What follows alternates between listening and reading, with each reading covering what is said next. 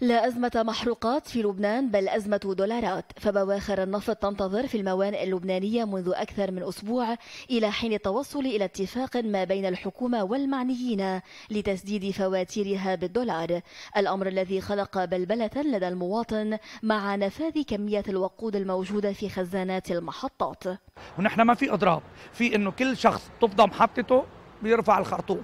لا أكثر ولا أقل. نحن منا بإضراب. بالعكس لو بإضراب أنا أول واحد بسكر محطاتي. بعد المحطات فيها بضاعة عم بتبيع بس في محطات كثير ما بقى ما بقى في عندها مخزون. طلعي على منطقة الجبل. ما في محطة فاتحة. على الجنوب كذلك الامر بالبقيع كذلك الامر في كم محطة بعد؟ ببيروت والضواحي فاتحين. فقط لا غير.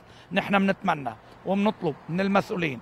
وبكرة راح يكون عندنا لقاء مع معالي وزير المال. بنوجه له تحية قبل ما نجتمع فيه.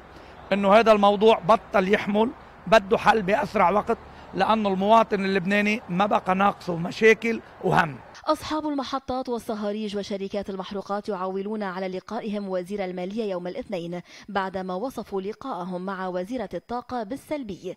فالاتفاق الأساسي مع الرئيس الحريري قبل الاستقالة خلص إلى تأمين الدولار للشركات المستوردة على أن يسدد التاجر فاتورته بالليرة اللبنانية. بعد ما استقالت الحكومة تفاجأنا أنه التعميم صدر 85% باللبناني و15% دولار. نحن بدنا نأمن دولار. ما كلنا بنعرف اليوم الواقع بالبلد وموضوع المصارف. يعني صاحب المحطة بده يروح يوقف قدام المصرف مثل الشحاد ليأمن دولار بسعر الرسمي. أنتم شو بدكم؟ بدكم 100% تكون الاستيراد بالليرة اللبنانية؟ نحن وين عايشين؟ نحن عايشين بلبنان.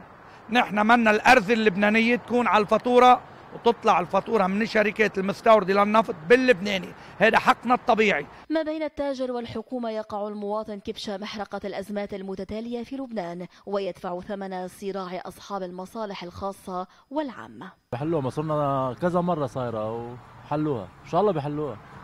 متعودين يعني على هالأزمة. متفائلين متفائلين بهالبلد. نحن خايفين اجمالا من كل شيء مش بس من البنزين يعني.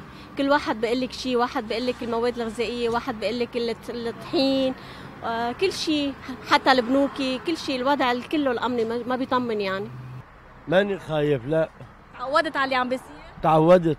أبو شقرة أوضح أن الحديث مع وزيرة الطاقة عن رفع سعر النفط 700 ليرة لبنانية كان في إطار الحسابات الدقيقة في حال تم الدفع بالدولار وليس تهديدا برفع الأسعار.